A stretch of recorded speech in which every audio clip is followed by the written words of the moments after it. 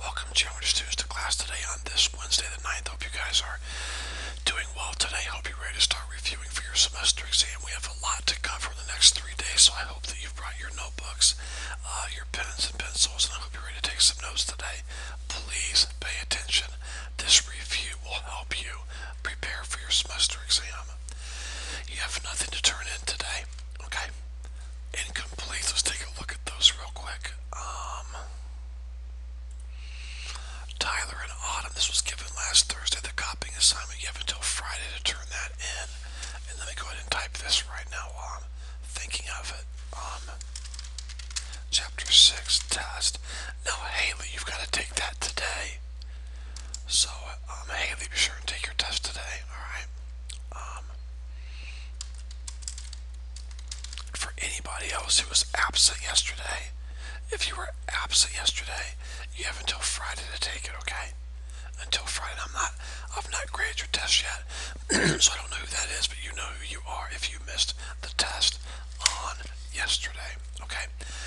And remember, if you're absent one day or many days, it doesn't matter. The first day you come back, if we're taking a test or a quiz, you will take it unless you pre-contacted me, okay? So please uh, make sure you stay on top of your videos when you're out absent. Today we're going to start reviewing for your final exam. My advice to you is to listen very well to the video and take great notes. Yes, it'll be boring. Notes the entire class period, definitely. And yes, that is how it's that is how it's going to be for most of the upcoming class periods for the next two to three days. But you will get a great review for the semester exam. The semester exam is about 20% of your final grade. The video that you'll be watching today is called Geometry Track 1 Fall Semester Review Part 1, okay?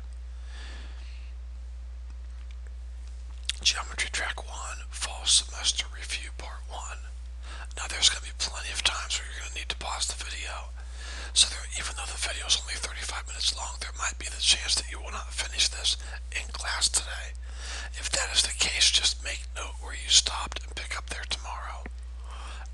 for your tests, like always, I will grade them within one to two days.